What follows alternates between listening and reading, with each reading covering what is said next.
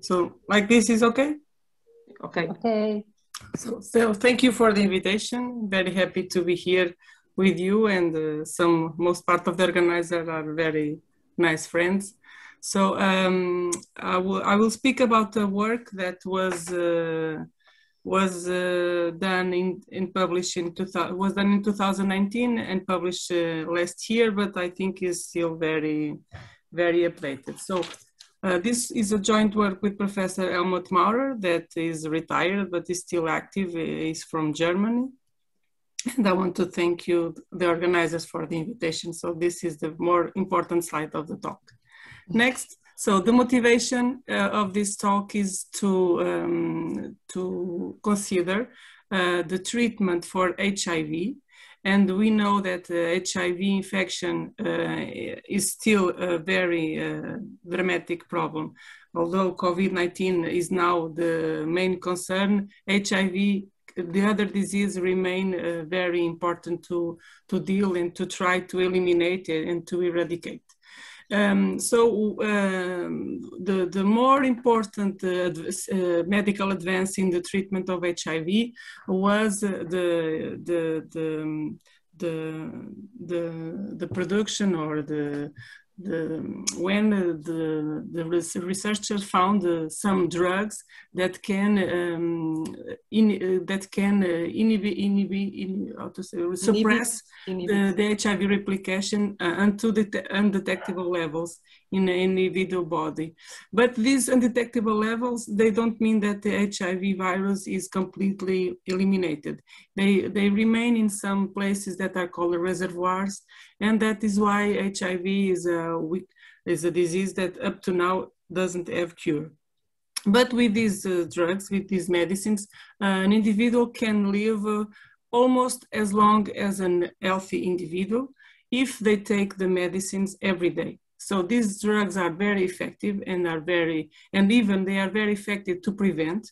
They can be used as a preventive measure. And, but, uh, oh, and that's why, for example, we have in, we have in 2020, 37.6 million live, people living with HIV infection but only this a lot of people but is a very little percentage of the individuals that were that are currently infected and the ones that died uh, but what is the main problem or main, these drugs have side effects and they have to be taken every day.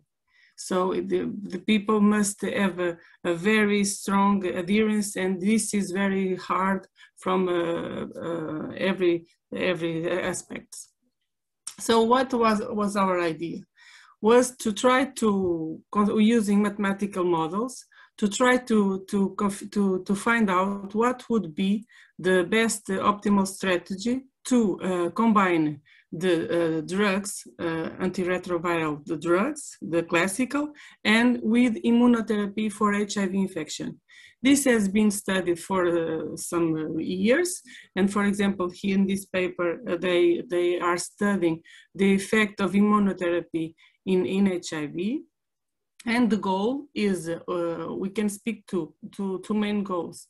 Uh, the one is to try to to see if the uh, to we can instead of taking drugs every day the antiretroviral every day maybe with this immunotherapy the patients could do some pauses uh, so to eliminate the need of taking the medicine every day. And uh, the more important is to try to to to to um, eliminate these latent reservoirs. And this would be the great of great importance. So uh, this is really uh, as i said updated because uh, we have here uh, this this here news about uh, speaking about the importance or the what the immunotherapy can bring to to patients with hiv so how we will do it from a mathematical point of view. So we want to introduce in a, in a, in a model these two strategies and try to configure, in using optimal control theory, try to figure what will be the optimal treatment scheme uh, for patients with, H that, uh, with HIV. So that combining the classical treatment with immunotherapy. So first of all, we must uh, consider a model that uh, uh, describes the dynamics of, the, of uh, uh, when uh, we, an individual gets the, is infected by the HIV virus and how these affect the cells in the human body. So we choose a model that has been studied for many years uh, there are others. Some we can say that mathematically they are very similar. It's uh, we can work with one or another. The the way to do it is mathematically speaking is the same, and they are some of them they are quite similar. So we choose this one that is simple, only three equations, and it, the the this uh, we have here each of equation describes the, the, the dynamics of the number of uh, uninfected CD4 cells in the human body, infected CD4 cells, and here the CTL um, cytotoxic T lymphocytes that are the cells that, repre that uh, represent, uh, roughly speaking, the immune system. We don't have here the viral load because we assume that the viral load is proportional to the level of infected cells. So instead of having four uh, equations, we have only three. Uh, so this is a model that as is studied and uh, they, they prove that the model, mod, uh, is good to, to describe the, HIV, the dynamics of, uh, of HIV in a human body. And what we first did was in order to try to, to, to, to have a more realistic model, we introduced a time delay in the, the, this first model to in order why we introduce time delay. Because we want to to to that our model considers the incubation period. That is the time between the new infection of a CD40 cell and the time it becomes infectious. So here we have this time delay that is a discrete uh, and represents this time that this period of time of this incubation period. Uh, after uh, we introduce one control that is so with this model we have uh, we we can have real data and we can say that this model fits real data. Okay. And with the delay we say that okay this model fits even better uh, a little bit better real data because we have here the incubation period. But what we want to do is now we want to to change these dynamics of the of the cells. We want that the infected cells uh, instead of increasing and then with the drug decreases, we want them to decrease more fast or uh, even better so that they don't uh, decrease so much, increase so much. We want to control the dynamics. So that's why we will introduce one control. That is the HIV uh, antiretroviral treatment, the classical treatment. And moreover, we introduce one time delay that, so this, this control U represents the drug therapy uh, and uh, moreover, we introduce one time delay, this another time delay, this C1, that represents the pharmacological delay. We know that one, when we will take some uh, medicine, it takes some time that our body starts to react and uh, so that we, it requires time to, for the drug absorption, distribution, and penetration in the target cells. So uh, once again, we want that our model is more realistic. Again, and uh, moreover, what we will do next, we will introduce another control that represents the immunotherapy. So here we have the we have first the delay that is the incubation period. Here we have the this control that will affect. So in this term here, we have that the uninfected, the infected cells infected the infected cells, and they are uh, they come to, the, there is here an increase of the infected cells that is proportional to the number of infected cells and in uninfected. So what this control will do here, when the control is one, we have no infection. But if the control is zero, we have the previous, uh, the, the model without uh, drugs therapy. And here there is, so is the pharmacological delay. So what we will do here is like we give an injection of uh, antibodies so that they will increase the number of uh, um, the cells uh, alive that uh, representing the immune system. So here, so this is immunotherapy. But again, we will introduce one delay in this control that also represents the time that the immune, the, the immune system takes time to respond. So here is the delay uh, associated with, with this uh, response of the, the immune system. So now we have to write our optimal control problem with uh, state and control delay. State because the, these are the state variables. So, and we have delays in the X and the Y and control delays because each of the controls has one delay that represents what I, what I said. So this is our control system that we want to, that the solutions of this system, they are such that they minimize this control function and what we want to maximize, sorry, what we want to maximize, we want to maximize the uninfected cells, cells that are not infected, and the immune system, but with the, the least um, drugs possible, the least medicine and uh, antibodies of, uh, possible. So we need to, to, to describe the initial conditions to solve the, the control system and the controls, they are bounded they are bounded between zero and the maximum value that is not the same for the U1 and the U2. And then we have to, we need to have the, to, in order to, I will just show some numerical simulations because uh, we solve it, uh, the problem all analytically and we showed that this, the analytical solutions are quite interesting but in order to be shorter, I will just show the, the numerical solutions and try to, to explain uh, the, how they are interesting from a practical point of view. But all of this we solve it analytically. So as I said, the controls, they are bounded. So uh, the, when the control, the, the antiretroviral drugs, uh, they are bounded between zero and one, it means take full doses or don't take, but the immune system, the, the, the bounded is much, the, for the antibodies is much smaller because we need to pay, pay, uh, pay attention um, in order that the, the, human, the immune system does not have an overreaction that is even worse than to be uh, protected.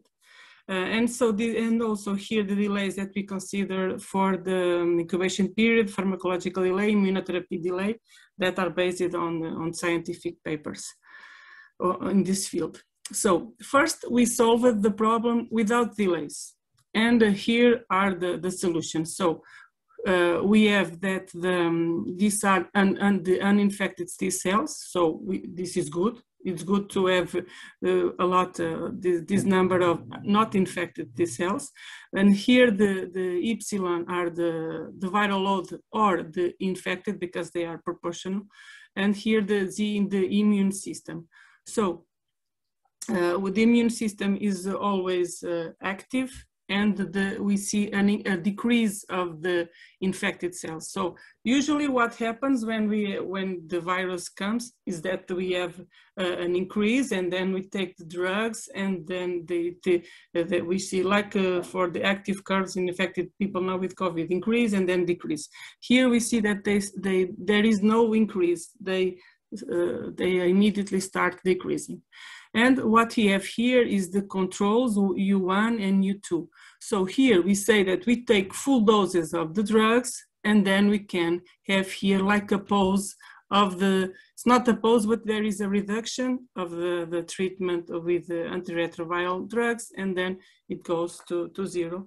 But uh, the control of the immunotherapy, it takes its maximum value for almost all the time. So it means that, so only with this uh, only with this immunotherapy only almost constant we can have here a reduction of the anti antiretroviral drugs. Uh, when we introduce delays what happens? Uh, so the the solutions are not that different but what is different is here the the solution of the optimal control. And from a medical point of view uh, we can say that this is more easy to implement because here we have, we have, uh, here we can see that. So what we say here is that you say you take full doses and then you decrease.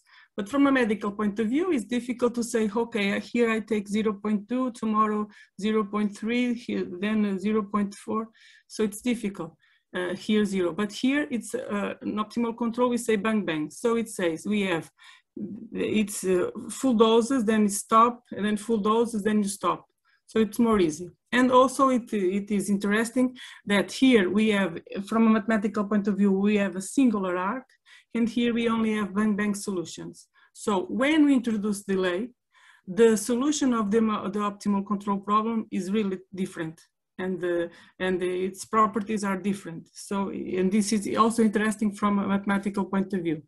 The control U2, uh, it's quite similar. And when we introduce delay, we can, although we introduce delay, the solution says that we can finish the immunotherapy a little bit earlier. Uh, and so what I, in the title, I also add uh, uh, that the optimal control with pure state inequality. So as I only have one minute, I will just explain what is this. We can introduce in the optimal control theory for problem a constraint that ensures us that the immune system um, is never, uh, is always, the, the cells that, that are associated with the immune system are always below a, a, maximum value. And this is to ensure a functional behavior of the immune system. Like I said, to don't have overreaction of the immune system. And this is quite important uh, from a medical point of view. And here are the solutions. And what we have is that here for the immune system, we have, we, we, we put, we consider this constraint. And we have here that the solution, this constraint is satisfied. And we have always this, uh, this um, uh, ensured that the CTL cells are always below this value. So the, the optimal control solutions are quite similar for the control U1, but again, for the control U2, so it's finished. so for the control U2, the control is, is different. And this is also, from a mathematical point of view, very interesting to see that we have here uh, this uh, singular arc instead of only bang, bang. And um, I think it's all. So we could, we could uh, study this better, but uh, I think I said, so this is difference between the controls. And I want to thank you, Professor Helmut Maurer, and you all. Thank you. Thank you. Uh, for five minutes for uh, questions or comments.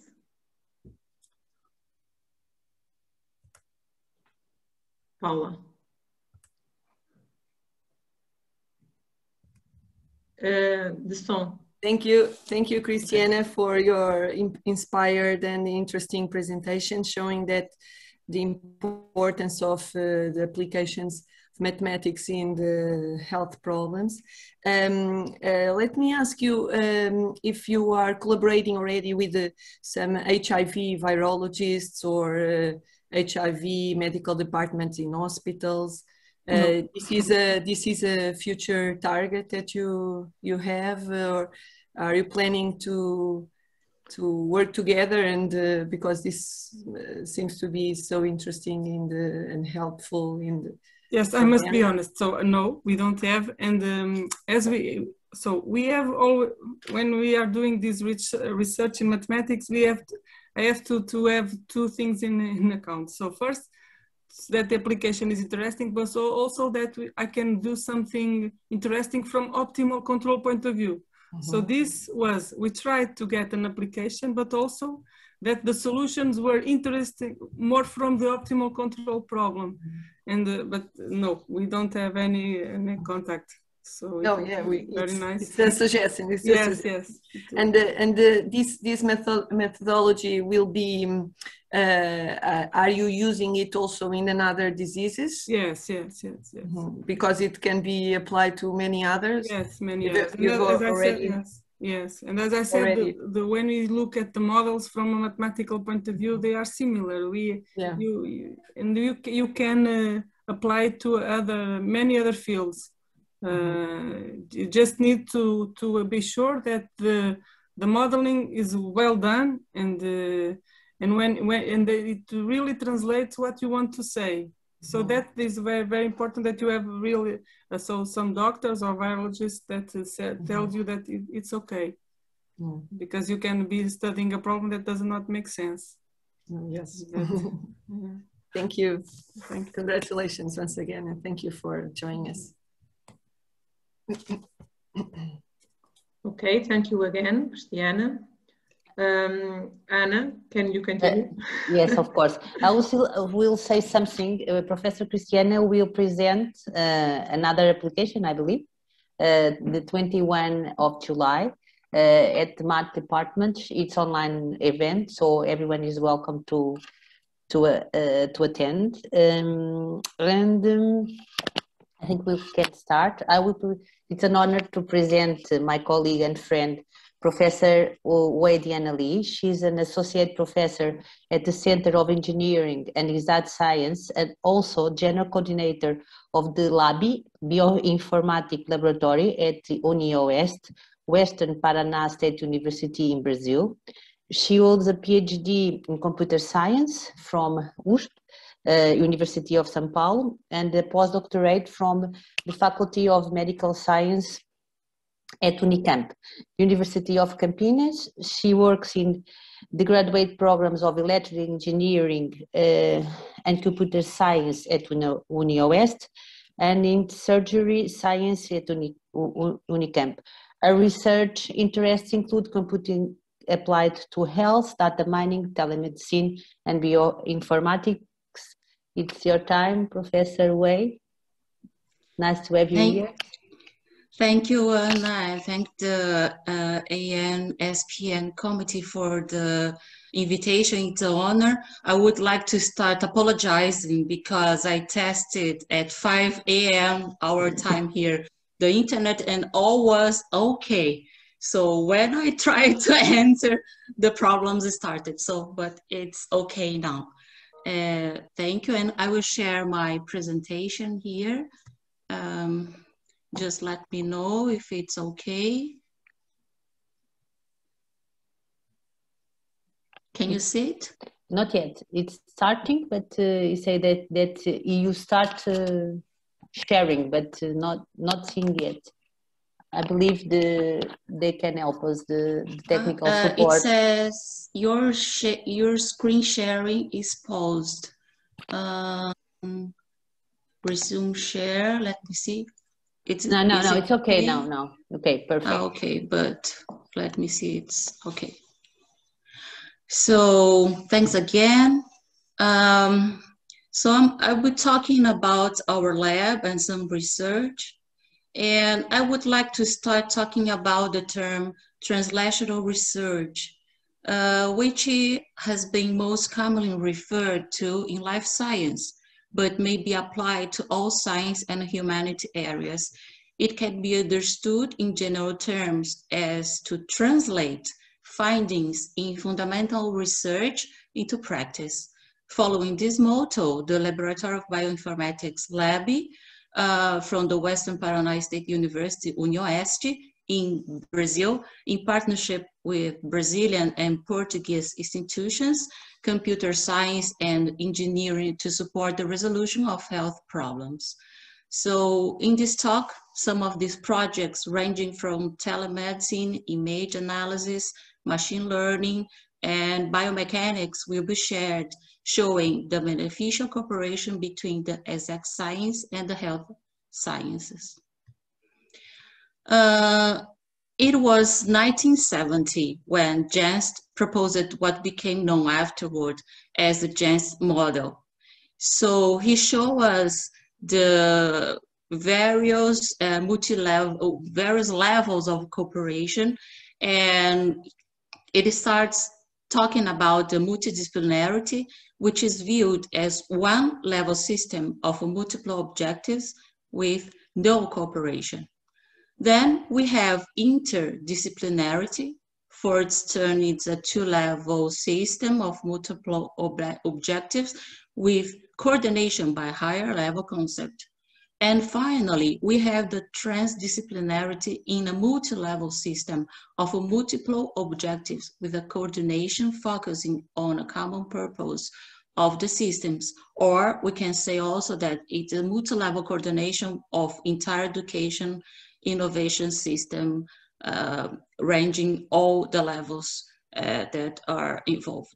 So the translational research acts at the transdisciplinarity level.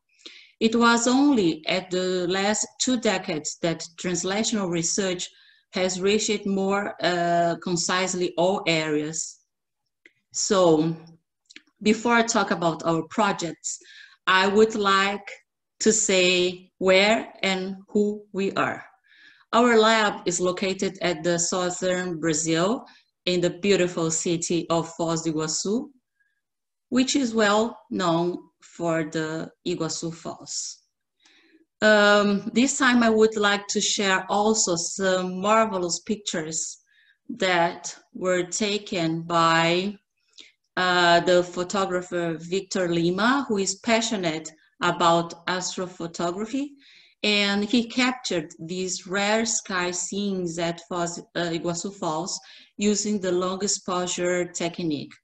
Um, so this is what was the first time that these kind of pictures were taken here. So I wanted to share uh, with you and also leave um, uh, uh, welcome to you when you, you, you can visit us.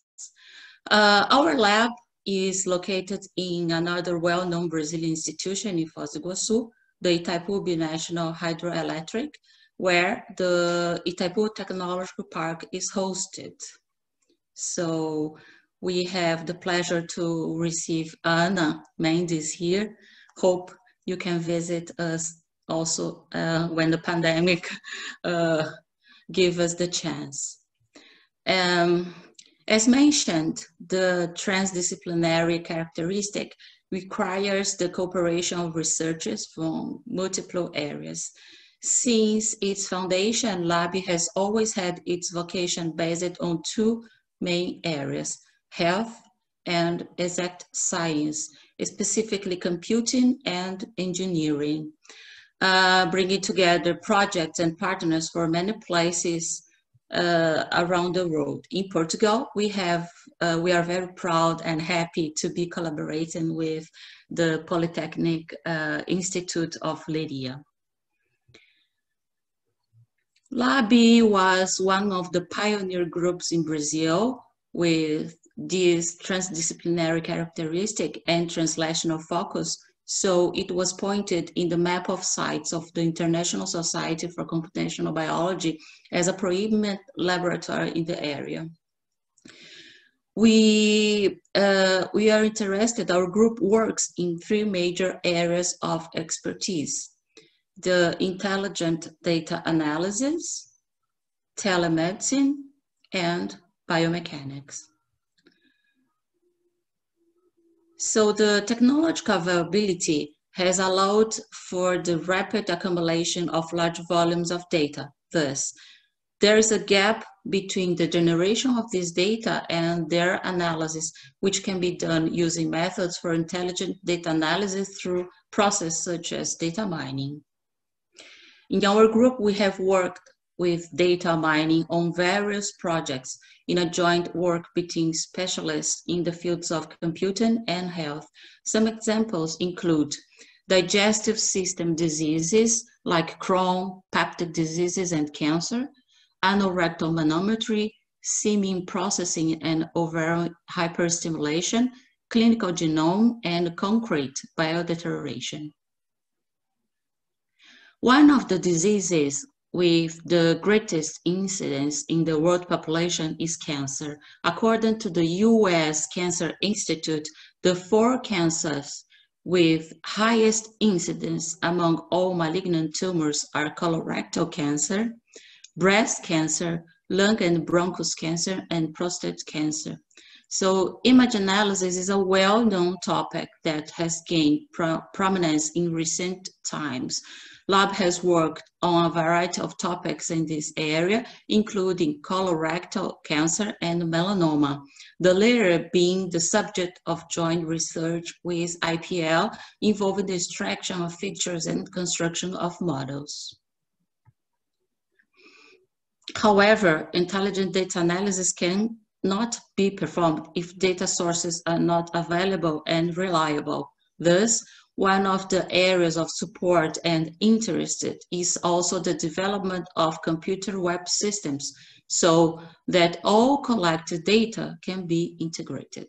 This allows clinicians to securely access data and change it any time of the day and from anywhere.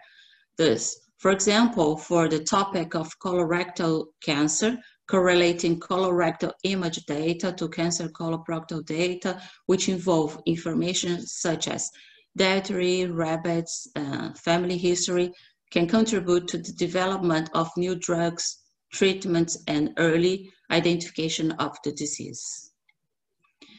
And uh, another area that we are interested is biomechanics. The idea is to apply mechanical engineering concepts to biological problems.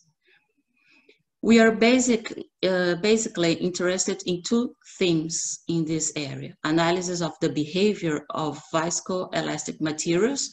Many materials in our daily lives are present, uh, present this property and analysis of movement of body parts for example, in this project, we are concerned with monitoring and analyzing patterns of movement of various parts of the body. In this team, uh, we can act in patient rehabilitation, monitoring of high performance athletes, among others. And finally, uh, the third topic of interest is telemedicine. In these photos, it's possible to see one of the systems developed that allow real-time and remote interaction between physically distant participants through various audiovisual resources. In this project, the aim is not only to provide support for remote diagnosis, but also for continuing education. Um,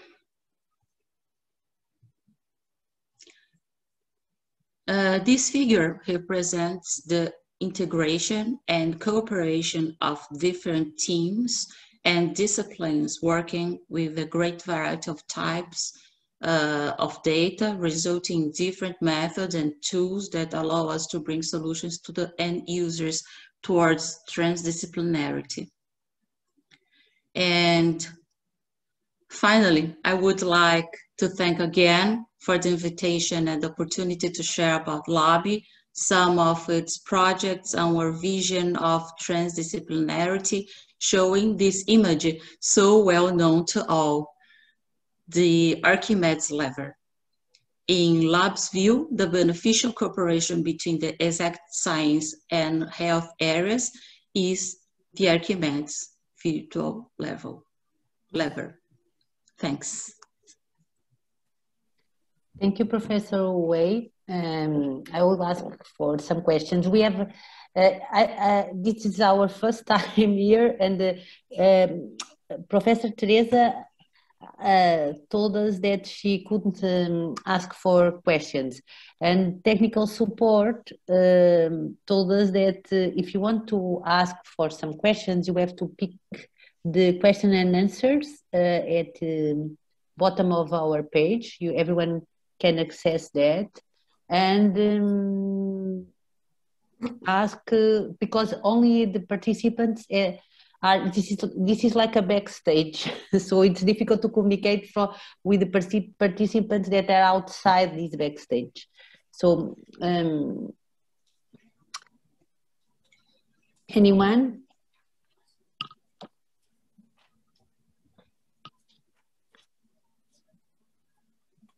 Mm. Uh, a question here, okay. Ah, uh, Professor uh, Teresa is saying that she's asking, but she can't, uh, but, she can't talk. Uh, I believe uh, that it's not possible to talk. It's it's a, a written um, question, but I'm not so sure um, because they didn't explain well this part to us. Um, so if you don't mind, can you write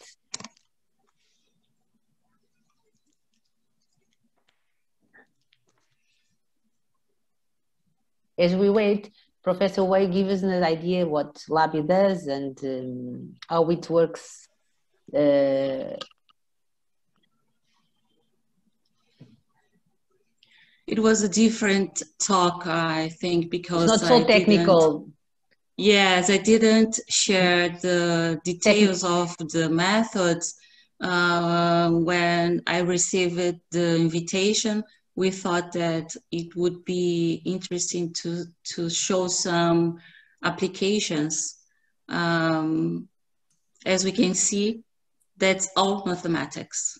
We always say to the students since undergraduation that uh, all is about mathematics. And it's not until they they reach the last years that they really see that oh it's really really really important um, so i know the public here is not for students but um, so we can see the range of applications that uh, we have there there are so many others Thank you, Huei. Um, since there is no uh, questions, uh, Professor, maybe we have time to that Professor Teresa asked the question. She has a question for Cristiana. She did. She said that she really enjoyed your talk, and uh, if you don't mind, can you write it? Write it.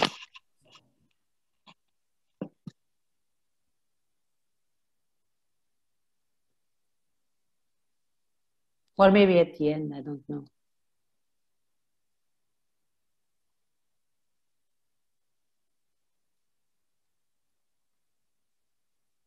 What do you think, the, my colleagues, Paula?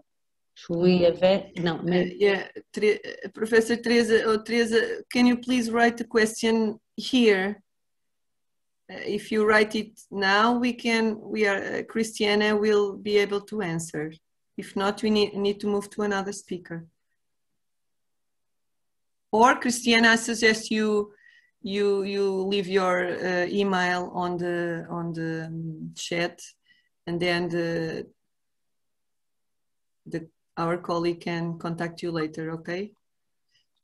I also put will uh, announce here the seminars the, that I was talking about previously. And so, Paula, go ahead. Yes. Okay. Um, thank you um, once again, all of you, for attending this session. Uh, our next speaker will be uh, João Menezes. Uh, João has a, a master degree in biomedical engineering from the University of Coimbra in Portugal with a specialization in instrumentation and biomaterials. He had worked and collaborated with scientific departments and uh, several companies in projects related to ophthalmology, optometry areas. Um, he's working in a FCT project called entitled Stimuli to Bioscaffolds, stimuli modeling for bioscaffolds from uh, numerical modeling to in vitro tests, focus on numerical model applications for tissue engineering problems. Uh, he participated actively in the development of a new generation of an optimized bioreactor patent that will revolutionary, uh, revolutionize uh, tissue uh, regeneration. Thank you, João, for accepting our invitation and um, uh, for sharing our your work with us. Thank you. Okay, it's it's my pleasure to be here. Uh, are you seeing my screen and listening to my voice? Is everything okay? No, João, you you are we are seeing. It. Maybe you can pass to the presentation mode. Yes. Okay, now it's okay. Okay. Okay, thank you. Thank so I will start. Okay. So I will shortly talk to you a little bit about uh, how we go to numerical models to bioreactor design and tissue engineering, uh, myself and my team. So just uh, giving you the context, the context idea. So I will start with a small introduction and then go to uh, show you our bioreactor proposal. Then talk to you a little bit about how we go to numerical models to to what we are trying to predict, then so uh, bottom-up approach and future vision, and finally the acknowledgement. So starting with the problem. Uh, today, the, the bone fractures in the UA and European Union are estimated to increase, this is uh, estimated from six countries only, but uh, are increasing 23%. Uh, and uh, the future, the European age quake is not reaching its highest magnitude. So the the count, the people are getting older and older, and uh, we are increasing our median age from uh, 37 years to 52 years. So uh, this uh, bone fracture will greatly increase, not just uh, in costs for society, but also in quality adjusted life years, uh, years that people can be working, being productive, and they will be not due to fracture. So this is a great problem uh, that we must uh, solve it. Uh, and right now, uh, what we what we can it's that bone fractions that occur after trauma, infection, or oncologic resection. Uh, small bones uh, fractures can be solved uh, quite easily. You just have to rest, and if they are shorter than uh, 2.5 centimeters, they will just heal by themselves. But if you have a critical size defect, which is a gap higher than 2.5 centimeters, you will require secondary procedures to obtain union and healing. And this is the cause for most of the cost and, and years, years lost that I have spoken before. Uh, so in a common practice in healthcare, uh, you have uh, these four kinds of uh, operational uh, operation solvers, like autologous grafting, uh, induced membrane technique, also bone transfer through distraction osteogenesis and free vascular bone transfer. These are all kinds of, of works where the, the donor gives, a, you just remove a part of the bone from the hip, for example, and then translate to the local, to the place where you have the bone defect. Um, but right now, the, the approach uh, should be this new kind, a tissue engineering approach. Uh, what will be this tissue engineering approach? Uh, it will be like uh, what I'm showing you here on this cycle, where you take a, a sample of the tissue from the donor and then you cultivate this tissue in a bioreactor part where the cells grow and uh, you then you uh, when you have a mature tissue part you reimplant it on the on the patient so the bioreactor part is the critical part uh, to enable you to generate structures that uh, that allow you to fix the, the, bone, um, the bone defect. So our focus will uh, be on this bioreactor critical part where you need to generate the, the environment to enable cell growth and differentiation into a mature tissue before reimplantation in the patient.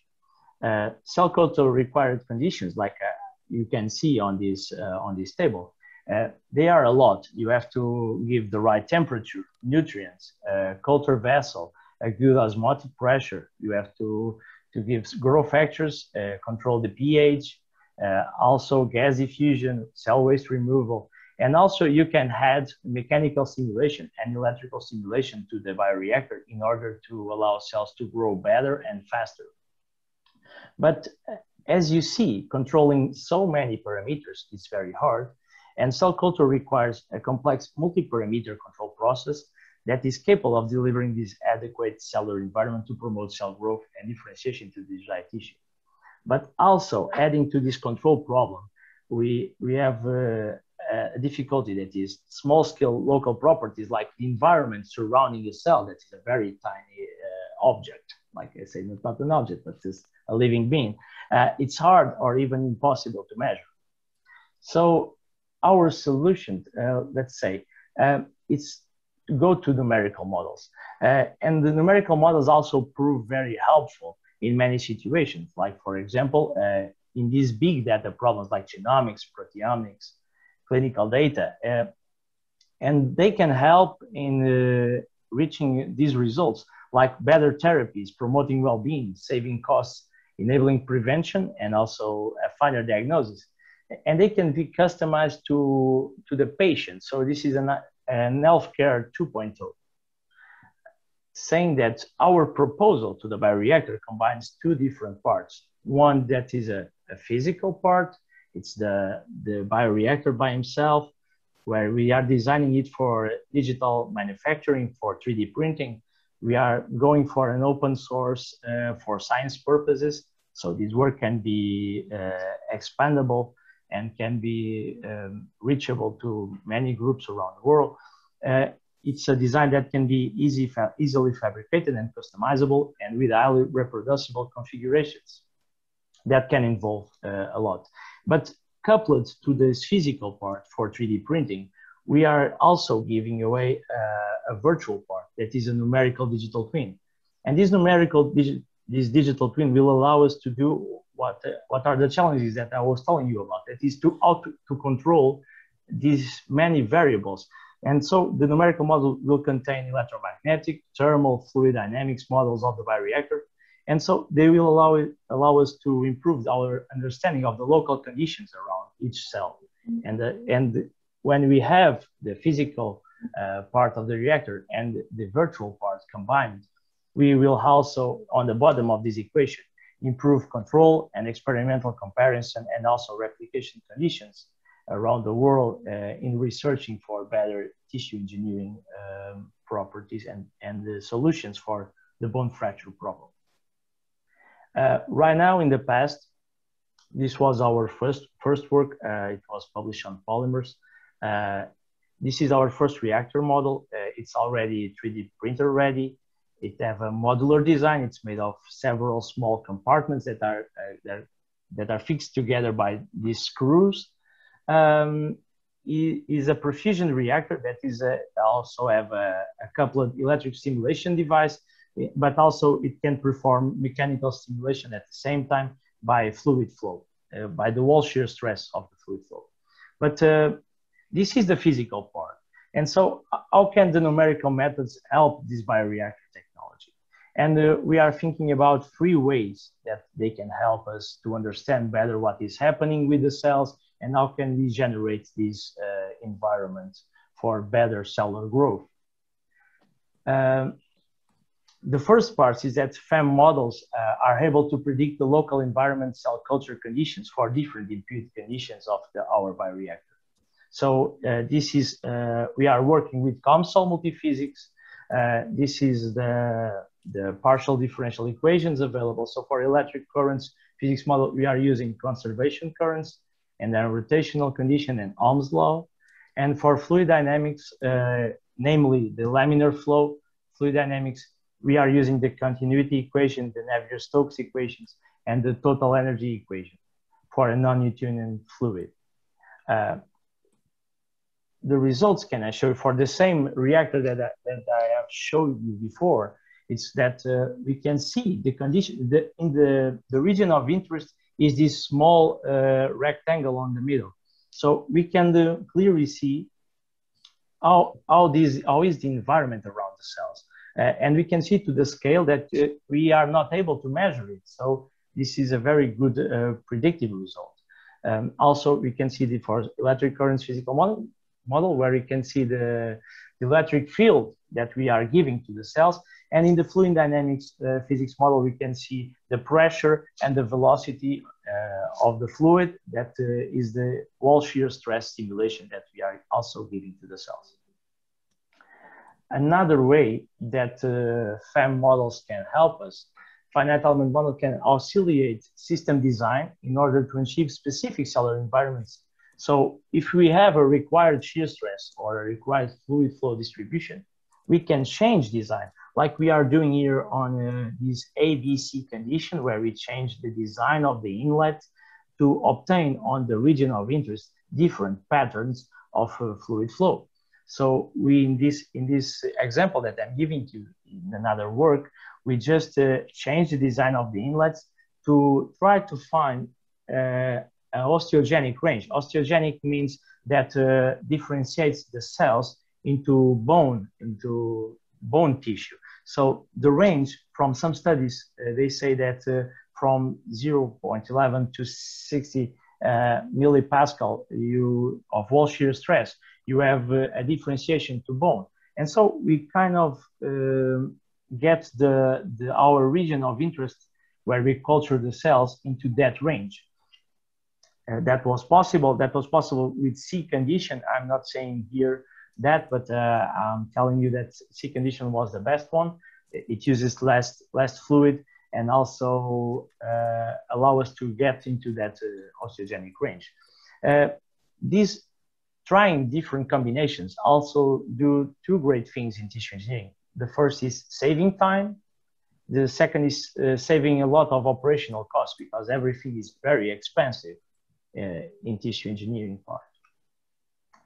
Another way that uh, that uh, uh, numerical models can help us is by by by considering scenarios after cell seeding. So it's in predicting cellular behavior, where after predicting the local cellular environment, like how we are doing before, local conditions of fluid flow, local conditions of electric field.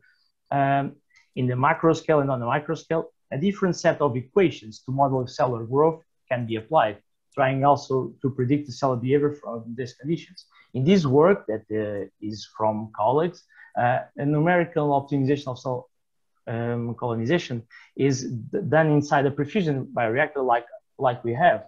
And so they have a microscale model and, the, and a, a macro model, and they combine the two and then run these two laws that we see here, the, the evolution of concentration of dioxygen, very important. Uh, it's a nutrient that we need to give to the cells, the oxygen. So another, the evolution of cell density, also very critical because when we have the structures to cell seeding that are uh, too big, sometimes cells on the middle die because nutrients does, don't reach there. So this is uh, very important to, to know, and this is a, a future step for us. Also, sorry, sorry moment. Also telling you what, uh, what are you doing? What is your plan for the future? So right now we are working on the, on the empty chamber of the bioreactor. We are starting adding the scaffold, which is a structure that supports cell seeding in the, in the region of interest and in the, in the next step, we'll add the cells to the simulation, like uh, we are showing from other groups. So this is a, the complexity of the simulation is increasing a lot, and we are on the second step of this.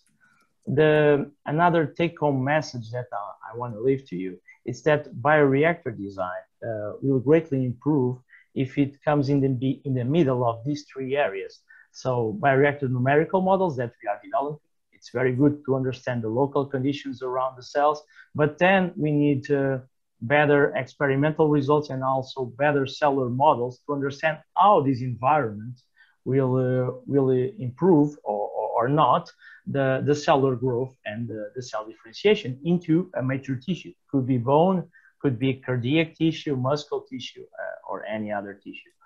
But then um, another block that is very important in the future will be to use artificial intelligence or machine learning because this is a big data problem with many parameters. Uh, you can change change a lot, uh, and these these are too complex for our understanding in simple rules. We have to search for patterns, and these patterns can be unblocked by these technologies. Uh, by last, I want to say that uh, this is only possible if you have a very uh, good multidisciplinary team. And so we are working uh, with mathematicians, physics, biology, mechanics, biomedical engineers. Uh, and uh, this is only possible if we work together in a combined way. Uh, also, I want to thank uh, the Foundation for Science and Technology for their support in multiple projects and uh, also for your organization to invite me to speak here. So I will be available for questions if you have some. Thank you. Thank you, João, for for uh, your interesting presentation. Um, I, we are now open for questions.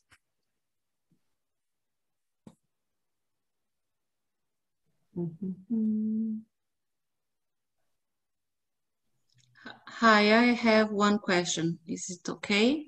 Yes, of course. Okay, so yeah. João, congratulations for your work. Um, I, uh, you said um, you plan to use the data mining, big data uh, methods to analyze the data. So do you have um, idea about the size of your data? How many features and how many examples do you have? Uh, I, I know it's too big, but I don't know what is its size. I, I can show it uh, on this slide. For example, I, I can, this, I, this is just a small sample of the parameters that are involved because, uh, for example, culture media have uh, 40 uh, chemical species in different concentrations, for example. And, and I'm told, and you have to add temperature, uh, vessel properties, osmotic pressure, gas diffusion, waste removal. Cells produce uh, different, uh, many kinds of chemical species also. Uh, when I talk in a big data problem, it's to control every single parameter of cell culture, and they are a lot. And, and we don't have models for many of them. I will say the majority of them. So this, this is a huge challenge for the future. But if you want to uh, advance in, um, in cell growth and cell differentiation, uh, we have to understand how these many chemical species come together in the differentiation because right now uh, they don't have, uh, we don't have uh, much conclusions about it. And uh, sometimes you just change a small thing and you get a different set of results, completely different from the ones that you are expecting in cell culture. So uh, this is a control problem. Many variables, many concentrations possible, temperature also a problem. Uh, and we are adding uh, stimulation to it, uh, not getting to the what is the optimal optimal simulation to to add to the cells they we are not finding it because this is you can change for example chemical and do the same electrical part and electrical it turns out a different set of results i think i, I think i was clear but uh, uh, okay because i i thought you were working at the level of simulation. So we have to have the models and properties and so to construct the the uh, to do the simulation. Okay. and we if, if, we want to to um, to do data mining we have to have uh, the data sets. So are you also uh, simulating or making experimental um, uh, changes and collecting the data is that no, right? No, no, Right now we no. are doing predictions of uh, stimulation. So we started by okay. electrical stimulation and then going to fluid flow, just by reactor conditions, the macroscopic ones. Uh, but uh, we have partners doing the part, the in vitro part, and uh, we are we will take in the future uh, a range of uh, of data from there. So this is a future step, not not exactly yet. We are just making predictions From yes, this is a beautiful project. Uh, I'm sure it will be very nice to look at this data and to see uh, what patterns you can extract you. from it. Congratulations. Thank you very much. Thank you, Huei. Um, yeah, we are uh, now uh, introducing uh, this optimization in electrical, uh, mechanical, and uh, magnetic stimulation into this uh, tissue regeneration problems and challenges. And we are validating our numerical models with our partners in Instituto Superior Técnico in Portugal and um, in Porto, University of Porto, uh, in in vivo uh, for in vivo in vivo validation. And so uh, we are working on that step uh, now. Future future um, work will will pass through that, and so we might talk uh, whenever it it comes that time. And if you're interested to collaborate, we are glad to to, to, to discuss this with you, okay? Thank you. This resembles our project of biomechanics because we construct, we, we look for patterns uh, through uh, real uh, experimental data from, uh, we are trying the vis viscoelastic materials. So we collect the data and construct the model. So this, so uh, it's very interesting. Okay. Congratulations. Thank you, Huei. Sorry, we need to move on now. We can talk a little bit later uh, to our uh, the main speaker of uh, uh our session, uh, Professor Remco Duits. Uh, thank you, Remco, for joining us. Let me briefly introduce uh, the work uh, you have done. Uh, so Remco received his master degree in mathematics in 2001 at Eindhoven University of Technology, the Netherlands. He received his PhD in biomedical engineering also at the University of Technology uh, University in the Netherlands.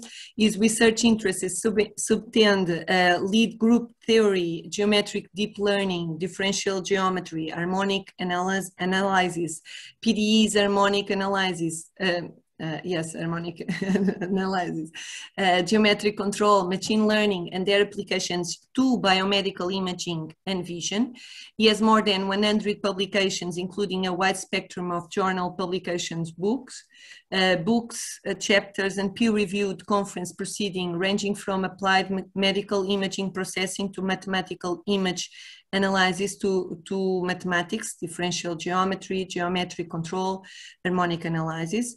He has received an ERC starting grant from 2014 to 2019 entitled Lie Group Analysis for Medical Image, Image Processing from the European Research Council and a prestigious NWO VICI from 2021 to 2026 entitled Geometric Learning for Image Analysis from the Dutch Foundation of, of Scientific Research where both uh, are personal grants. He is program, uh, program committee member of biannual uh, congress such as Geometric Science of Information, Scale Space and Variational Methods, and broad member of the Scale Space and Variational Methods. He is an editor for the Journal of Mathematical Imaging Vision and Vision, where he has led a special issue on differential geometry and multi-orientation analysis in imaging processing in 2018. International long-term visits include different universities, Brown University, Ireland University, Linköping University, and Institute Henri Poincaré Paris, where he, is visiting, uh, he was visiting professor during the spring of 2019. He received several awards, include five Best uh, Paper Awards, nine selected papers, one Best po Poster Award, a Philips Impact Award, and a Best Reviewer Award at Scale, Space, and Variational Methods in 2015. Uh, he organized many large workshops and many congress on themes such as mathematics for deep learning and geometric control and imaging processing. Thank you once again, Remco, for taking time for, from your busy, very busy agenda to share with us the amazing applications of mathematics in health uh, regarding the new invariant deep learning via PDEs and medical imaging analysis applications. Thank you once again for joining us. Thank you, uh, Paula, for this very uh, kind introduction. Um, so I will now share my screen and uh, start the presentation. Thank you.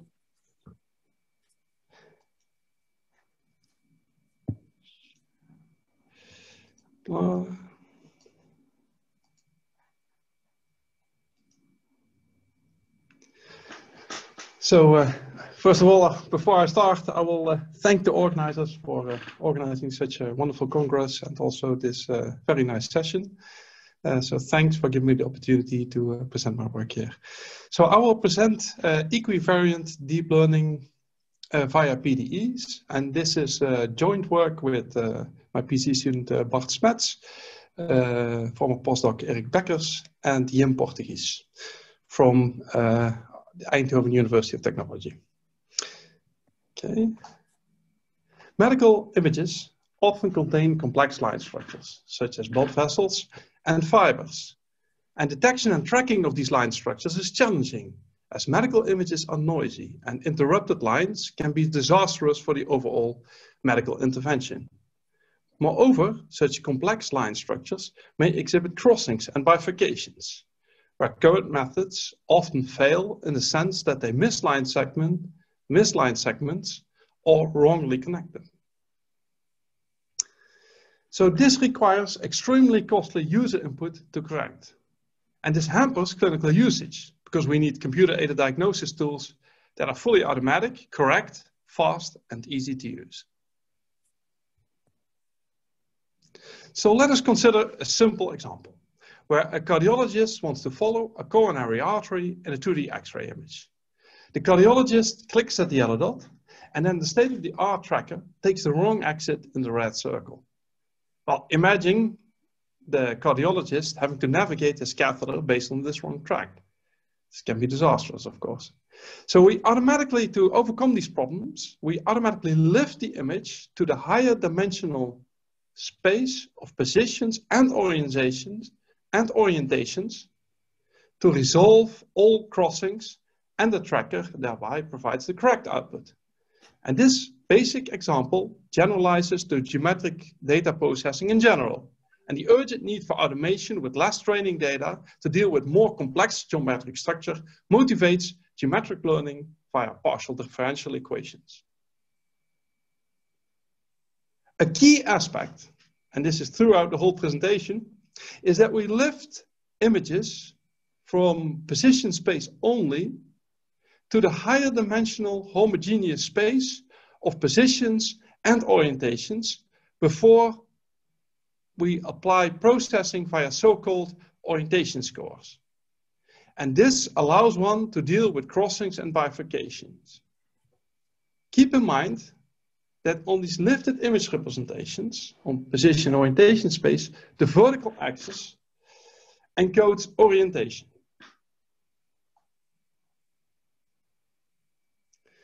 Okay, so in our approach, we merge differential geometry and machine learning. And here we aim to overcome the handcrafting in geometric image analysis and the terrible lack of geometric interpretation in deep learning. And therefore, we integrate the good part of geometric image analysis and the good part of deep learning based image processing in such a way that only the green pluses apply. So then we have a high performance, a wide scope, automation and interpretable results with small computational loads and high reduction of both network parameters and costly training data.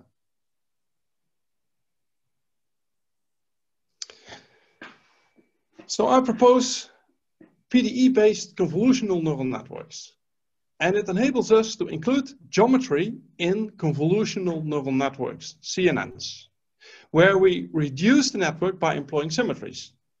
So for example, on the image on the left, uh, we see an image of an apple. If I rotate, translate, or scale this image of an apple, it's still the image of an apple, and it should be classified as an apple.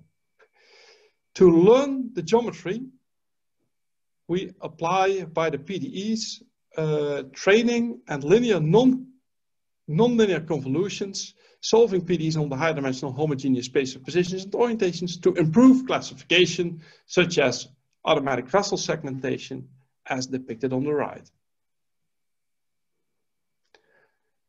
So let us consider convolutional neural networks, where given the training data, one minimizes a loss function via standard stochastic gradient descent. And so given a training set consisting of inputs xi and desired outputs yi, find a function phi uh, omega, the network parameterized by omega that best maps each input to a desired output. And then you do this uh, uh, minimization of this loss via a standard stochastic gradient descent. Well, there are many applications of convolutional neural networks in medical imaging, such as the automatic segmentation of blood vessels and detection of mitosis in histopathology images. And this is important for the prognostication of cancer. Now you see the example of the prognostication of cancer in histopathology images, uh, where we had to detect uh, a mitosis uh, at the bottom of the slide. Well, there's a lot of research going on on equivariant group, group convolutional neural networks. So instead of normal convolutional networks, we're now going to make the step to group convolutional networks. And in particular, in the machine learning lab of uh, Max Welling at UvA in Amsterdam, uh, where, uh, yeah, I mean, the computer science approach approaches provide interesting problems to mathematicians. And there are three works I would like to address in particular. The rigid body motion scattering by Stefan Mallat and Sifre, who built it upon um, orientation score theory equivariances. And um, um, uh, basically, I was also the, in the PhD committee of, uh, of Laurent Sifre, who is currently the director of Google DeepMind, applying such uh, uh techniques in deep learning. And then both uh, Cohen and Welling and uh, Becker, Erik Bekkers and myself brought this to deep learning with more effective nonlinearities than the modelers in scattering. And finally, there's interesting work by Finzi et al. on probabilistic convolutional neural networks that are effective and that benefit from the PDE description of the work that I will present. Okay, so what does this mean, equivariant convolutional networks? Well, equivariance means that a symmetry group action on the input corresponds to the same group action on the output. For example, rotating and translating input amounts to the same roto translation of the output. And to distinguish between the group action and the homogeneous space on which it acts, we write G for the group elements and P for the homogeneous space elements. And we shall denote the action explicitly by the O dot symbol in the rectangle.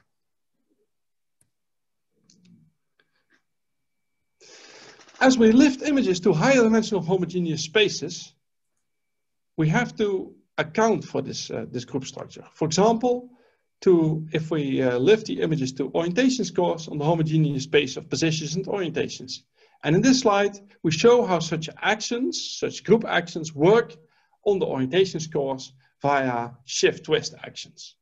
So you see here on the left, uh, a roto and translation of, a, of an image, and then this is a corresponding shift twist, a group action on the lifted image representation. You see this shift twist transform popping up naturally from the semi-direct product of the Euclidean motion group. Now, with these actions, we can create group correlation layers, which are also group convolution layers when reflecting the kernel. So now we can do group convolutions on these lifted image representations. And here you see the effect of such a group convolution. And of course, we need equivariance. And indeed, if I rotate and translate the image, uh, the corresponding lifted image and also the processed lifted image uh, rotates and translates accordingly. It's very important. We applied this extension from convolutional networks to group convolutional networks, to equivariant convolutional networks, in many medical imaging tasks. Uh, I already mentioned histopathology, uh, where we did uh, detection of mitotic fixture, figures in histopathology slides. It's important for the also for the uh, monitoring the, the uh, progression of cancer. Uh, then uh, in this middle image, you see the segmentation of 2D blood vessels.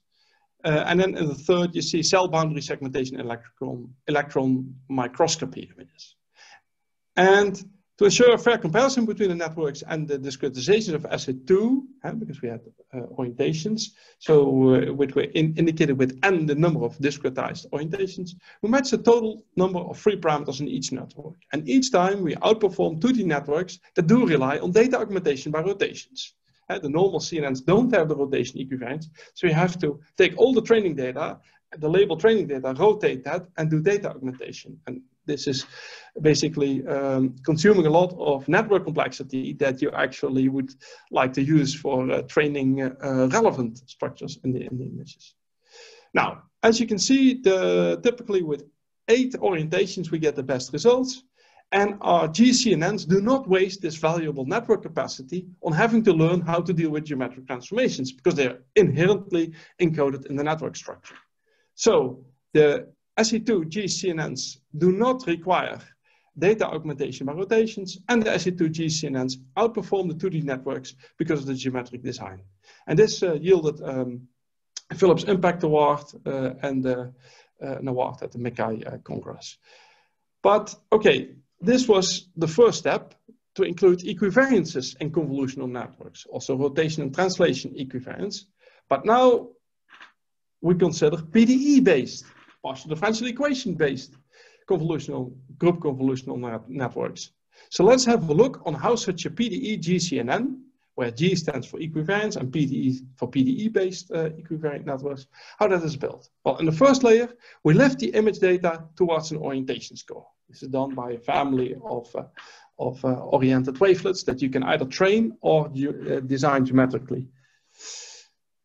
Uh, the first layer, the training is not so important, but in the subsequent layers, you need to really train the, the, uh, the data and, um, and the processing. And then we apply multiple PDE layers, where each layer is an operator splitting of a PDE, a partial differential equation, evolution involving convection of, uh, for transport and offsets, diffusion for some regularization, and dilation and erosion for max and min pooling over Riemannian balls.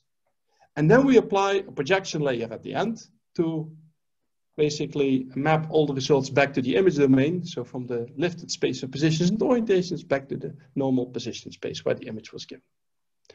Okay, so we set up this theory in a very general homogeneous setting. And even the current translation invariant CNNs are just a special case of our uh, PDEG CNNs.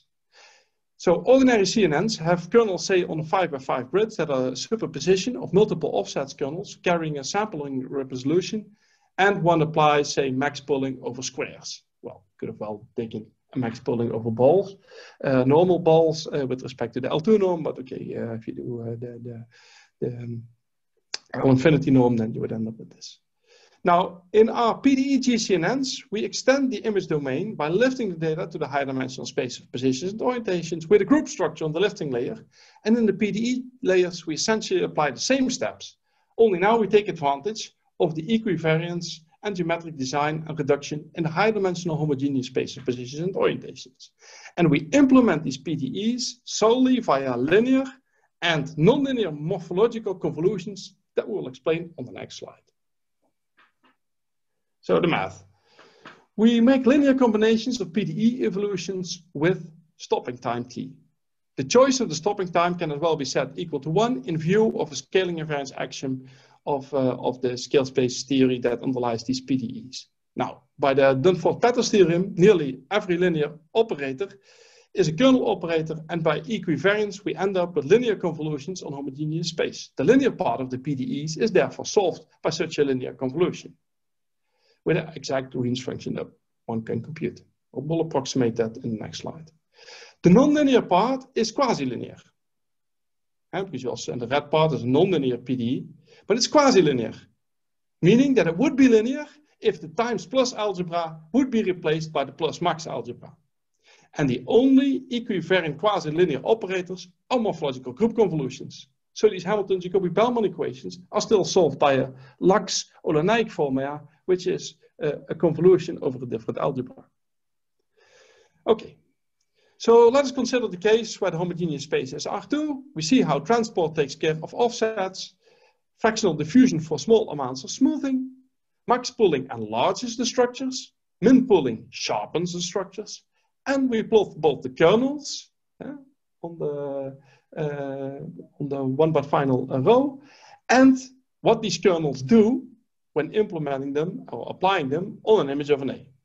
Just to give you some intuition of the smoothing, extension, and sharpening. Well, we do the same thing on this higher dimensional space of positions and orientations, and then the structures are because of this torqued uh, uh, geometry that you have on, uh, on the position orientation space modeled by the Cartan connection. And then you see that uh, essentially you can still uh, uh, move things around in this position orientation space. You can still diffuse automatically in this uh, space of positions and orientations. You can still group elements in the space of positions and orientations, and you can basically uh, sharpen things. Okay, so when you look at an image as a human, you will automatically connect local line segments. If you look at this image after a while, you will see, hey, there is a contour hidden. What happens is that you have a local orientation selective cells in your visual cortex that make an orientation score of an image.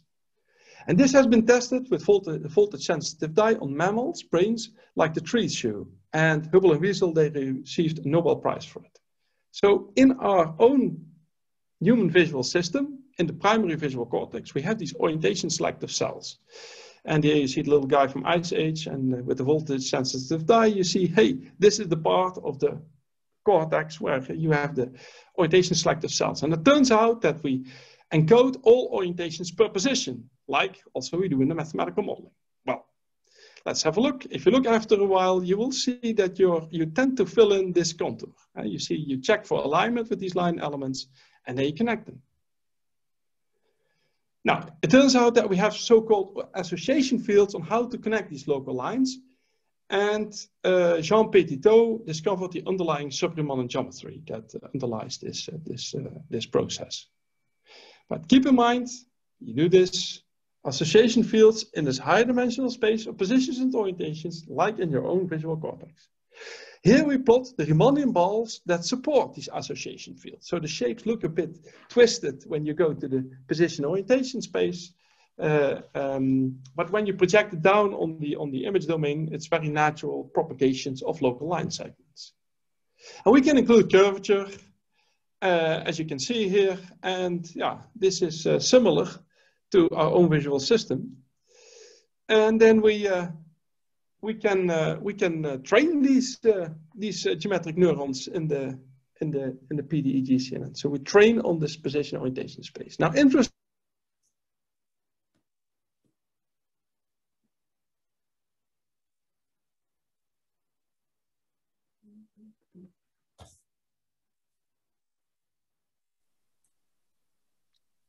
I believe our speaker has some internet problems.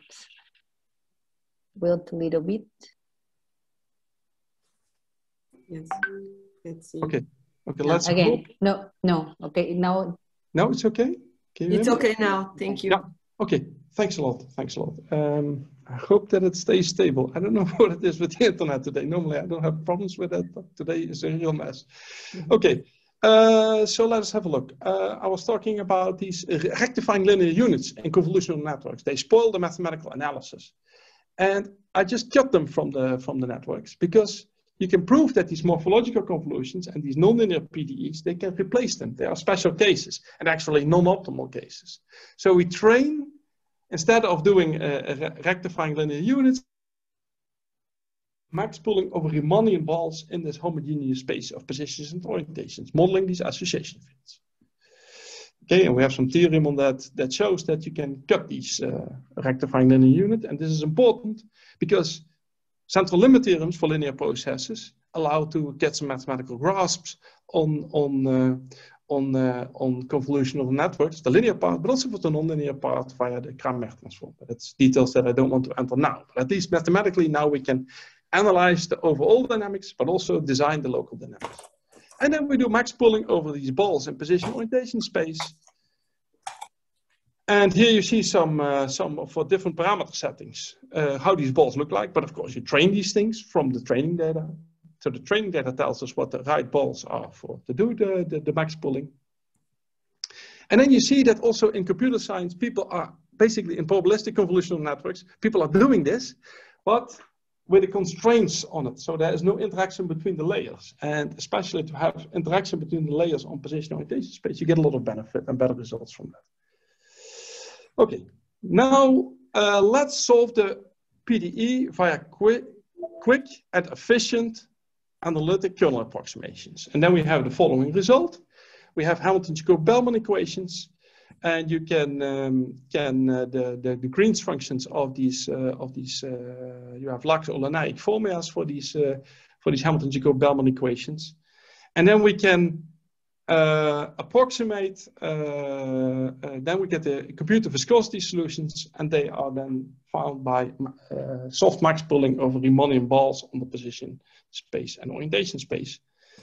And then we have quick analytic approximations. And as you can see on the right column, these quick analytic approximations via the Lie algebra, uh, just simple formulas, uh, like uh, just some sines and cosines and, and, and, and, things that you can sample very quickly on the GPU. I mean, it's well enough to, to the exact solution that we also uh, studied. Okay, uh, let's have a look. So this was for the nonlinear part, the max pooling over Riemannian balls. Then I'll be brief on the linear part. For the linear part, on position orientation space, you can do linear diffusions. And so this is linear diffusions on this homogeneous space of positions and orientations.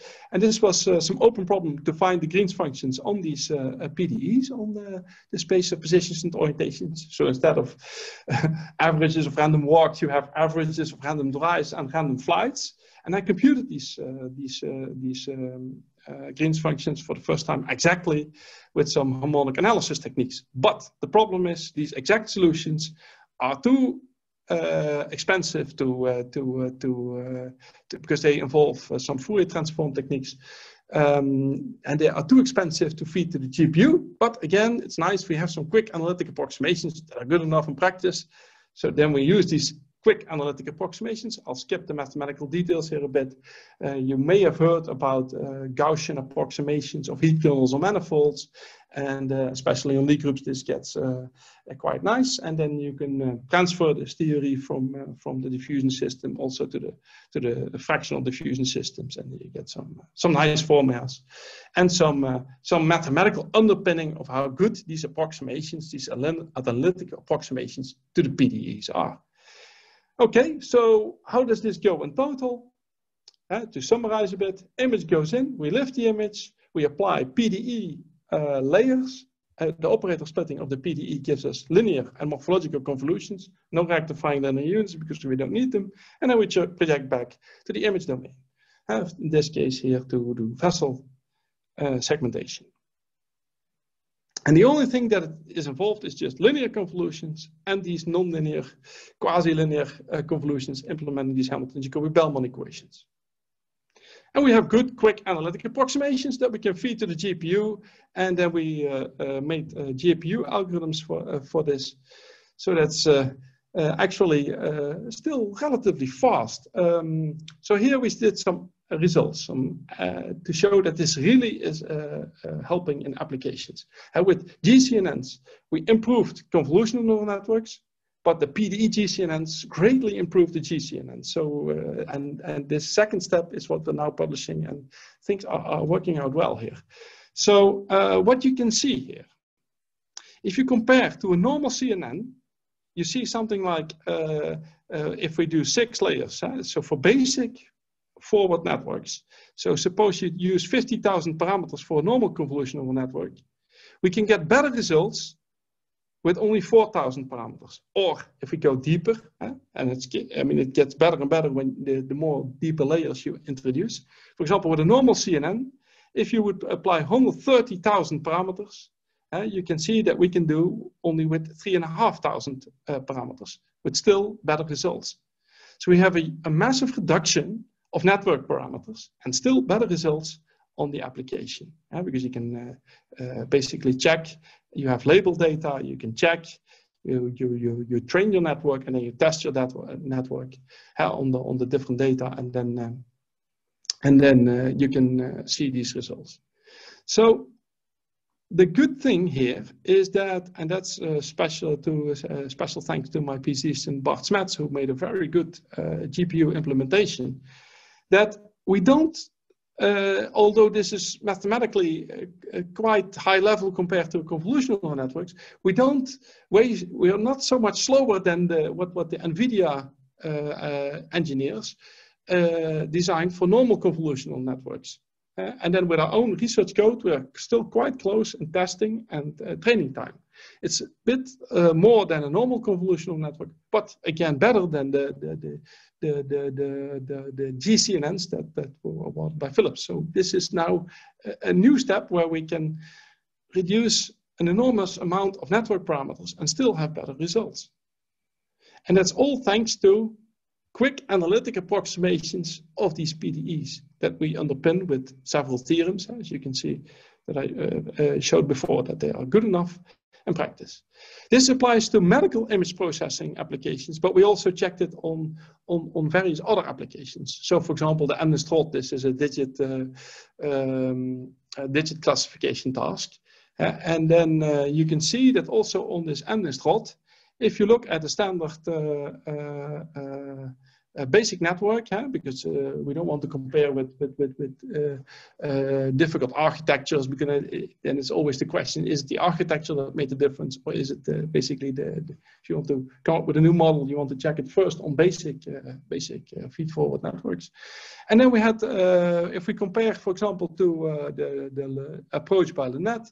Then you see that we have a, a, much higher accuracy, um, 99%, uh, accuracy with uh, 20, a, a, reduction factor of 20 on the amount of parameters, as you can see on boldface.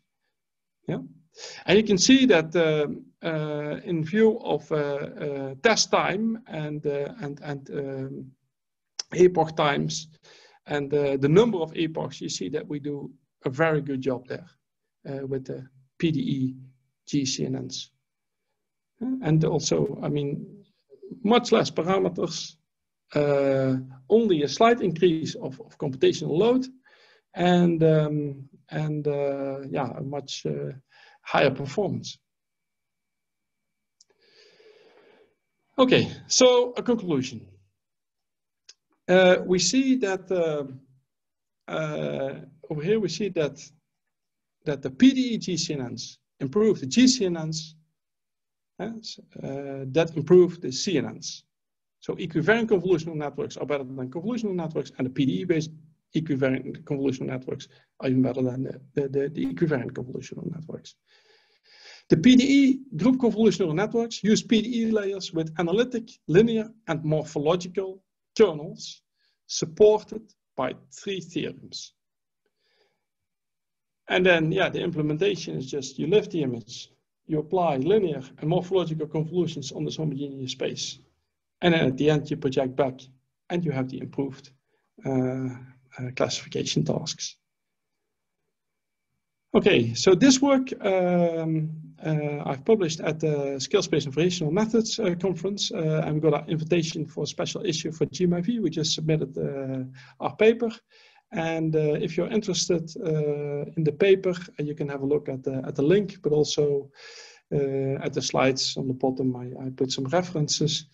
And what's also interesting, if you would be interested in equivariant uh, uh, Uh, uh, deep learning. Uh, this is uh, all the code is publicly available and distributed to the standard framework of PyTorch with Demeter, demos and the Jupyter notebooks so that you can actually use this technique yourself. And you can always use it whenever you want to do a, a, a deep learning network in such a way that if your input data rotates, the output or the classification task should rotate accordingly. And this ends the presentation. Thank you. Thank you, uh, Remco, for uh, such a, an inspired and fantastic uh, presentation. Uh, it is uh, very interesting to, to see the high quality and uh, cutting edge research that um, a person running his uh, training from mathematics and biomedical engineering can uh, conduct. And congratulations once again for, uh, for your this amazing work. Um, uh, we are now open for, for questions. Uh, is there any question from the audience?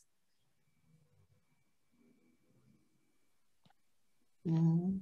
Remember that you have to write. There is a question now, uh, Milton. Um, ask for. Thank you very much for your nice presentation. I'm interested to know more about the convection, the diffusion. I don't know if you can read also. Uh, Remco. Look, yeah, the Q and A. Okay, so I have to now go to the chat. Yeah. Exactly. No, no, question and answers. Question and answers. Oh, to the Q and A. Okay, yeah the Q&A, yeah. Okay, yeah. Okay, I see it. I'm interested to know more about the convection, the diffusion, and the dilation erosion model and relate to the geometric structures that you want to extract. Okay, yes. Um, um, so the convection. So maybe I should go back to slide. Um, uh, can you still see my screen? Or do yes. To, yeah. Okay. Yes. Yeah. So I think here if you look at the normal convolutional network, you have like for your kernels, you can see that as a superposition of offsets, offsetted kernels, and a certain resolution for uh, the scale that uh, each pixel uh, represents. And then you have the max pooling. And now by replacing this manifold of position space to the homogeneous space of say position orientation space, you have a similar thing. And then in a Lie group, when you do a convection, convection always goes along the exponential curves in the Lie group. Uh, so if you go from the exponent from the Lie algebra to the to the Lie group, mm -hmm. and these are the say the straight curves, uh, the straight curves in the in the in the in, in the torque geometry of, of, of the Lie group when you put the Cartan connection, they are the autoparallel curves. So these are the straight line curves, and these are circular spirals in the SE2 case. And uh, what you do basically is that you transport your data. Uh, for example, here you see some, uh, uh some transport. You transport your data along the circle of spirals in the position orientation space data. And um, so that is for the transport part. Mm -hmm. So instead of saying in, in, in R2, you would transport by doing a shift factor but that's an exponential curve in the in the Lie uh, in the in the Lie group. I mean, consider R2 as a, a Lie group, and you have the exponential map. Takes the tangent vector at the origin, you go via a straight line.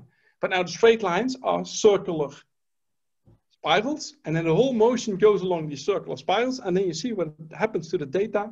if I start off, say, with a volume in position orientation space, you follow these, and you can, you can include curvature in, in, in, in your transport. So you account for that. Um, so this is how the transport is done. Uh, transport in Lie groups means that you uh, solve this, uh, say, a transport advection equation. And um, if you, uh, for example, in the linear um, PDEs, then you know uh, with transport equation, advection equation, method of characteristics, and then you transport your data along your characteristics. But in this case, uh, the characteristics are the exponential curves in the Lie group. Uh, so that's for the transport part. The regularization is done by a group convolution. Uh, actually, the convection is also a group convolution, but then with a singular kernel. But the, group convolutions are the formulas are down here. Just like normal heat diffusion is solved on R2 with a convolution with a Gaussian kernel, you still have a convolution, but now on the shift twist convolution. Uh, on this uh, on this data. You can see uh, in the, the middle of the slide 17 here, you can see that, uh, say, uh, the convolution with the Gaussian kernel, you have x minus y. well, uh, um, uh, you see now that uh, that uh, you have this action of the group on the on the homogeneous space P. x minus y is like x inverse times y, and um, and you have basically the the the, the u. so you just replace the product on R2 that you know for implementing diffusion. Uh, by the, the, the, the, product on the, on, the, on the group of roto translations. And that's a, a shift twist transform with um, a diffusion kernel. And yeah, I mean, this is like, uh, you know, that a normal diffusion kernel, uh, you get that by uh, random walks. You, you just count the amount of number of, of, of, of drunk men ending up at your square, taking a Gaussian kernel. Similar holds for position orientation space with Drunkman drives. and then you uh, get uh, basically these, these seed kernels. So but the most important thing for the getting the good results in practice, okay, the convection is important, but the diffusion is less important. The, the, the, the most important thing are the dilations and the erosions, the max pooling over Riemannian balls. Um, and that is implemented by a morphological convolution. So that's implemented like here. So what is a morphological convolution? It's like a linear convolution. Linear convolution is kernel, shift the kernel, multiply with your data, do the sum. And I just replaced the max, uh, sorry, the times plus algebra by the plus max algebra. So instead of multiplying the functions, I add them. Instead of integrating at the end, I do not sum, but I just take the, the, the, the maximum. So by changing this algebra, in a way, these solutions are still linear, but yeah, not linear in the classical sense, but you have to change your algebra. And then if you do that, then uh, such a linear convolution becomes a morphological convolution. And the good thing is that from PDE theory, if you look in the book of Evans for Hamilton-Jacobi-Bellman equations, then uh, Lax-Oleinik formulas for solving Hamilton-Jacobi-Bellman equations are such morphological convolutions. They are, uh, you take a minimum, an infimal convolution, and instead of a, a, a, times you have a plus. And um, yeah, does this answer the question a bit? How these things are implemented? Because the implementations are basically the two lines of, of, of 17. Yeah, and for the, I have to say for the convection, we apply, um, we could have done the top uh, formula in slide 17, but for the convection, we do interpolation standard because we have, we move and then we do standard interpolation techniques, but it actually also boils down to, uh, because of the equivariance to a linear convolution, but uh, um, but so um, Professor uh, Milton, uh, Professor Milton has answered again in chat. yeah. Yes, um, and he has another question. Yeah. Okay. Oh yeah, good. And what is the Lie group used? Yeah. Uh, the Lie group is the Lie group of roto translations. So uh, that's SE2. It's a semi-direct product of R2. And I think I had a few slides. Uh, uh sorry. Um, yeah, here it is. So this is the group of, it's the semi-direct product of the translation group and the rotation group. Very important for visual perception of models is that you have the semi-direct product. Uh, so you have the, the answer to the question is the roto translation group. So you have positions and rotations acting on the space of positions and orientations uh, via this action. But if you are in uh, two dimensions and orientations and rotations can be identified, 3D it's a little, you need to mod out a stabilizer, but okay. Um, um, so the answer is the, this, this group of roto translations. And why is our roto translation so important also in the perception of contours? If I would just act, if I would put a direct product structure and to say do a, a standard uh, metric on R2, combine it with uh, a standard metric on SOD, uh, uh with SOD and have no interaction, then for example, if I would take a distance, these two things are nicely aligned. Yeah. But if I would do just say a standard, uh, let's say that we work on uh, on R2 times S1. Let's unfold the S1 and just say uh, R3. and if we would do a Euclidean metric there, then this would be the same distance as this, because the angle is the same and the distance is the same. But this one is very well aligned, and this one is not. So it's very important to impose a anisotropic Riemannian geometry on the space of positions and orientations. And these metric tensor fields are precisely the things that we train. So the parameters in our network are the convection parameters. The metric tensor fields for the Riemannian geometry. So we train the Riemannian geometry, the Riemannian balls on position orientation space. And these parameters C, G1, and, uh, and, and the parameters for the metric tensor field G1 and the metric tensor field G2, they enter the analytic approximations of the PDEs. So by, by, by, by training these kernels, what we actually do is training these PDE coefficients. So instead of normal convolutional networks where you just train, um, uh, say, uh, matrices with hardly any meaning, uh, just, uh, that, that you put everywhere, we now have uh, we, we, we, we, we train for the geometric uh, uh, PDE coefficients. Yes. Does this okay. answer the question a bit? Yes. I, I suggest that if Milton has more questions or the other participants can contact directly each of the speakers uh, because we are running out of time now. Uh, thank you once again, Remco, for your uh, amazing presentation. Thank you all the speakers for their uh, fantastic presentation as well. We are very glad to have um, uh, organized this, this session um, and, and thank you all for joining us. And uh, we uh, invite all the participants and speakers to join the, the, the rest of the, the, this national event that will continue throughout the, week. Thank you once again. Uh, look forward to see you soon. Thank you. Bye-bye. And, uh, and uh, Conceição, no, don't know if you want to say something. But... No, I don't. No, just bye. And thank you eh, to everyone who participate as speaker or as uh, attending the, the session. Okay.